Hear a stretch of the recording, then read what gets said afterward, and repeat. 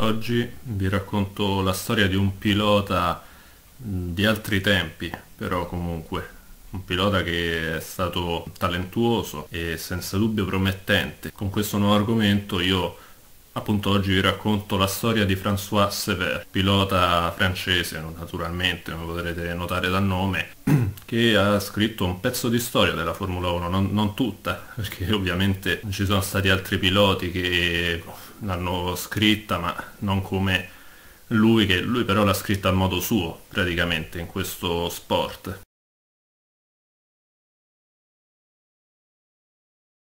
Bene ragazzi, quindi bentornati sul canale di Polle della Formula 1, questo nuovo argomento, quindi che come sapete ve l'ho già detto oggi racconto la storia di questo pilota, la vita e carriera di questo famigerato pilota, famigerato per, per chi allora cioè negli anni 60-70 seguiva la Formula 1, poi oggi magari non è molto, non è così conosciuto. Comunque partiamo dal, dall'inizio, da quello che riguarda ovviamente l'inizio della sua vita, ovvero il fatto che nacque nella Parigi del 1944, quindi nel corso dell'occupazione nazista, perciò in un tempo ovviamente alquanto complicato. Il padre, Charles, Charles Goldenberg, era chiaramente un, un, ebreo, come si può anche notare dal nome, un ebreo nato in Russia e fuggito con la sua famiglia nella capitale francese. Goldenberg lavorava come gioielliere e all'inizio degli anni 30 si era sposato con Huguette Sever, parigina da cui ebbe appunto tre figli appunto i figli presero il cognome non dal padre perché chiaramente era di origine ebraica ma dalla madre. Gli ultimi due quindi nacquero in una Parigi che era sconvolta da questa invasione, invasione da parte della Germania di Hitler e per evitarne come ho già detto la persecuzione presero il cognome della madre e tra questi figli infatti c'era anche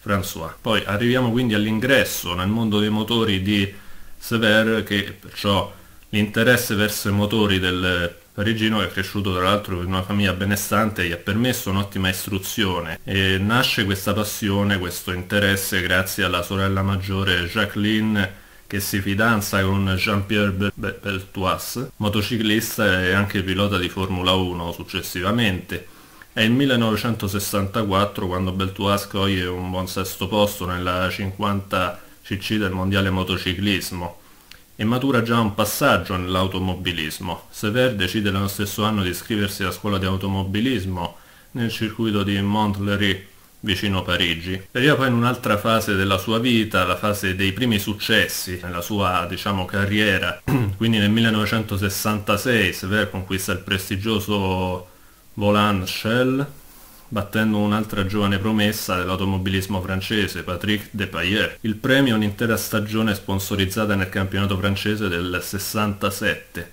per la Formula 3 al volante di un Alpine Renault. L'anno dopo si lega al team Tecno con cui vince il titolo nazionale, tra l'altro. Nel 1969 la Tecno promuove Sever in Formula 2 ed esordisce ad Hockenheim al, al circuito di Hockenheim piazzandosi in nona posizione. Conduce un'intera stagione positiva e cogliendo il terzo posto al Gran Premio di Enna. La brillante stagione quindi è corredata dalla vittoria del Gran Premio di Reim, Reim, Reim, gara che non era comunque inclusa nel campionato a quell'epoca. François quindi oltre ai successi automobilistici è persona di incredibile fascino come potrete notare infatti vedendo sue foto se lo andate a cercare ha studiato 12 anni al conservatorio e suona il pianoforte, poi oltretutto, a parte, cioè, oltre a questo, guida personalmente un aereo privato e ha uno sguardo così intenso da aver stregato, come si vociferava a quell'epoca, addirittura Brigitte Bardot. Queste doti quindi sono tali da fargli guadagnare il soprannome di François il Magnifico, infatti era, eh, bisogna dirlo, era un bell'uomo, sicuramente. Poi si arriva al suo esordio in Formula 1 per la stagione, c'è cioè stata la stagione Formula 2 del 70, con la tecnico che conferma Severo affidandogli la guida di una Matra. Varie scuderie di Formula 1 però hanno già notato il talentuoso francese l'obiettivo, di, di, approdare appunto alla massima categoria si concretizza poco prima di metà stagione con nazionale Johnny Servaux-Gavin che corre per il team Tyrrell, all'epoca utilizzava tra l'altro questa squadra ai telai Marsh e motori Ford, quindi decide di improvvisamente di ritirarsi dopo il Gran Premio di Monaco del 70 e venutasi così a trovare senza un pilota la Tyrrell sceglie proprio Sever che, per rimpiazzare il suo nazionale. Segnalare Sever a Ken Tyrrell è proprio Jackie Stewart con il quale stringerà una forte amicizia. Il 25 maggio appunto dello stesso anno, in occasione del diciottesimo London Trophy di Formula 2, Sever ha dato diverso filo da torcere allo scozzese, tanto che quest'ultimo ne era rimasto fortemente impressionato. L'esordio sulla marche del, della scuderia appunto Tyrrell avviene il 21 giugno del 70, nel, in occasione del Gran Premio d'Olanda a Zandvoort. La corsa si chiude per un guasto al motore al 31 giro, in effetti la Marsh non dà il massimo dell'affidabilità purtroppo costringendo quindi il parigino al ritiro in altre tre gare. Se- il, il 6 settembre il francese ottiene il suo primo e unico punto nel 1970 piazzandosi sesto al Gran Premio d'Italia a Monza. Si passa ad un'altra fase della carriera di Sever, soddisfatta delle prestazioni del francese, la Tyrrell decide di confermarlo per il 1971 come gregario di Jackie Stewart, infatti questa è la fase della sua conferma nella scuderia. La squadra inglese è cresciuta notevolmente nel corso degli ultimi anni e per la stagione in corso non utilizza più telai comprati dalla Marsh ma invece li costruisce in proprio. L'obiettivo è la vittoria del mondiale piloti con lo scozzese. Compito di Sever quindi è quello di aiutare il suo compagno nell'impresa potendo contare su una vettura altamente competitiva. Tra i due piloti quindi nasce una profonda amicizia, Stewart diventa una specie di maestro di, di Sever, dandogli ripetuti consigli, aiutandolo molto per maturare le sue innate quali, qualità praticamente. Si arriva al 1971 con l'avvio di stagione che non è dei migliori, dopo un incidente nell'esordio in Sudafrica, e, cioè in Sudafrica a Kyalami, Sever si piazza soltanto settimo in Spagna, quindi si ritira altre due volte al Gran Premio di Monaco e Olanda, anche in questi casi per, per via di un incidente. Le cose cambiano però in occasione del Gran Premio di Francia il 4 luglio, il francese ottiene un positivo secondo posto alle spalle di Stewart a quasi mezzo minuto di distacco, nonostante fosse partito appunto dalla settima posizione sulla griglia di partenza. È meno buono però il Gran Premio di Gran Bretagna il 17 luglio dove il francese arriva decimo il compagno di squadra non ha comunque problemi con la competitiva Tyrrell Ford del 71 ed ottiene delle vittorie appunto in questa stagione. La Tyrrell fa nuovamente doppietta nel Gran Premio di Germania al Nürburgring, quindi Stewart registra la pole position e vince, invece Sever lo segue, lo segue quindi sempre con un distacco sui 30 secondi, davanti ai ferraristi Regazzoni e Andretti. Nella stessa gara il francese fa registrare anche il giro più veloce. Nel, successo, nel, cioè nel successivo Gran Premio d'Austria avviene la svolta della stagione, quindi le Tyrrell manifestano problemi ai motori e sia Stewart che Sever sono costretti al ritiro. Ronnie Peterson con la sua Marsh è l'unico sulla carta ancora in grado di superare lo scozzese. Arriva ottavo e per eh, Stewart e la Tyrrell possono iniziare comunque i festeggiamenti. Parte del merito viene attribuito, come sappiamo, allo stesso francese Sever che ha più volte aiutato il compagno di squadra. Data la vittoria anticipata del titolo, da parte di Stewart per Sever si presenta l'occasione di mettersi in mostra nelle tre gare conclusive del campionato. Il 5 settembre nel Gran Premio d'Italia a Monza il francese ottiene un terzo posto, seguito dal sesto nel Gran Premio del Canada al Mosport Park due settimane dopo. Successivamente la stagione si chiude con il Gran Premio degli Stati Uniti al Watkins Glen di New York il 3 ottobre. Dopo che ha superato Danny Hulme, Stewart prende la testa ma al quattordicesimo giro lo scozzese lascia passare Sever nel frattempo portatosi in seconda posizione. Il francese non perde più il comando, nonostante in giri finali le Goodyear montate sulla Tyrrell inizino a perdere grip, e ottiene così la prima vittoria della carriera staccando Joe Siffer su BRM e Peterson di oltre 40 secondi. La soddisfazione quindi del francese per il risultato è accompagnata anche dal premio di 50.000 dollari, pensate. Sever quindi diventa il secondo francese che riesce a vincere un gran premio nella storia della Formula 1. Prima di lui l'unico transalpino a riuscirci era stato Maurice Trintignant, vittorioso a Monaco nel 55 e nel 58 e quindi con 26 punti Severo ottiene la terza posizione in classifica piloti alle spalle di Stewart e Peterson. Poi parte ovviamente la nuova stagione, il 72, 1972 con la Tyrrell che all'avvio della stagione si presenta con la, con la stessa identica coppia di piloti dell'anno precedente. Stewart però stavolta ha un avversario difficile da battere per confermare il titolo, ovvero Emerson Fittipaldi con la Lotus. L'avvio premia quindi Stewart che si impone in Argentina, ma Fittipaldi Successivamente si riscatta andando sempre a podio nelle sei gare seguenti, vincendone quindi tre e portandosi nettamente in testa in classifica.